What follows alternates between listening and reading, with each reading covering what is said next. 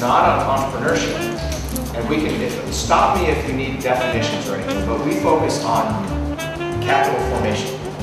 So capital formation is very closely related to entrepreneurship, but it's different. Entrepreneurship is this science, this ability of, of a remarkable individual to get inside a customer's head and figure out a problem, create a solution, build that solution, and build a company on it. But it's really about the customer relationship.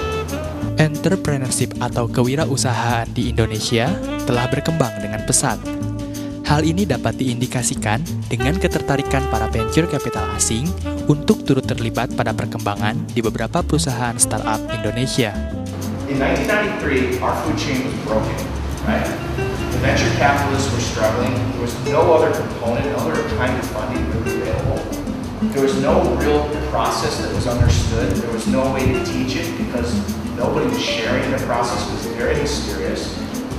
And there was no trust. And this goes to the point of spirit, right? The power of the energy, trust, spirit is, is the glue that makes innovation work.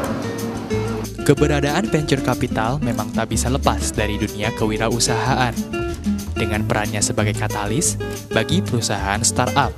A manager who really changed the spirit of the team. And they went on and they surprised the world by winning the championship. Right? And this is the model. Rather than thinking of the capital food chain, the investors in the food chain as the enemy, we'd much rather think of them as the athlete to coach partnership. Right? The entrepreneurs Sebagai bukti komitmen untuk menjadi sekolah bisnis berkelas dunia, SBM menyelenggarakan seminar dengan menghadirkan pembicara Bill Wickham, seorang tokoh venture capital terkemuka yang juga seorang pengusaha startup dari Amerika.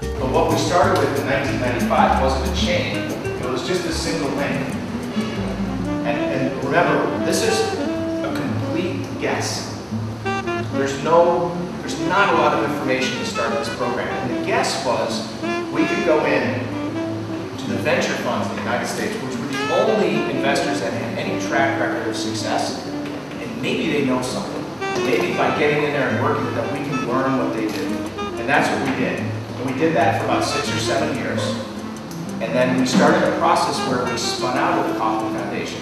With funding from the Kauffman Foundation, we became our own separate educational institution, which gave us the freedom to go global because the Kauffman Foundation was restricted to the United States.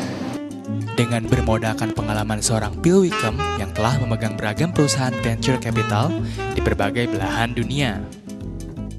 Here are just some statistics. This is what they'll look like at this summer when we create our, our 17th class, but it's, it's still a very small program. This is the history of the program for 17 years. Uh, it's a very small program, but we're in 285 funds, we operate in about 45 countries and six continents. We spend a lot of our energy developing leadership strategy for how you deal with these transition-like environments, right? These unstructured, crazy, stressful environments. And that's a large part of what we do, and it's something that we've developed very carefully over the last 17 years. Dalam guest lecture ini, beliau memaparkan mengenai Kaufman Fellow Program, sebuah program pusat pendidikan Ventura di Palo Alto, California. It's a two-year fellowship, but the bulk of your time is spent working full-time in an investment platform. Only seven of those weeks in two years are you in education. The rest of the time you're. Uh, we use a lot of structured mentoring of best practitioners. Each of the fellows are required to do original field research. It's not a thesis as much as it's a blueprint for a platform. A lot of the fellows' field research turn into new businesses, into new funds. Uh, we do a lot of different events and we're driven by tuition. Melalui seminar ini, SBM ingin masyarakat entrepreneur di Indonesia mendapat wawasan mengenai bagaimana hubungan antara entrepreneurship dan venture capital yang sudah berjalan dengan baik di Amerika.